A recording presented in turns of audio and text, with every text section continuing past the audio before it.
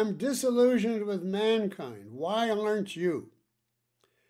Well, uh, I guess because I met Ayn Rand, because before her, I was a bitter uh, person. I, I, was very much like Dominique.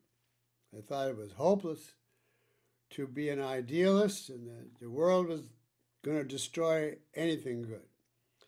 But gradually, you know, from her and study, I realized that the reason the world was this way was the influence of philosophy, and above all, of the big philosophers, the big three, as I call them in my book Plato, Aristotle, and Kant.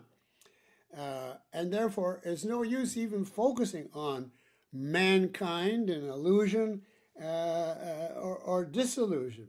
Uh, you, I just see my battle as me against Plato and Kant. And I don't have expectations. Uh, and uh, if you meet somebody good, and, and there are many people with good traits despite uh, their ideas.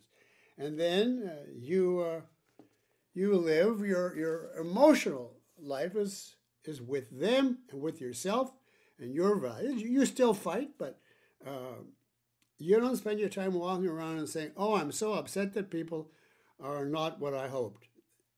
You can't do anything about it, and probably at this stage of the game, they can't do much about it because there's no way for them even to figure out what is corrupting them. They still have free will, but there's a limit within which it cooperates. And if you say to me, "Well, how can you substitute a few uh, people for mankind?" my answer would be every one person that you like, that you value, uh, uh,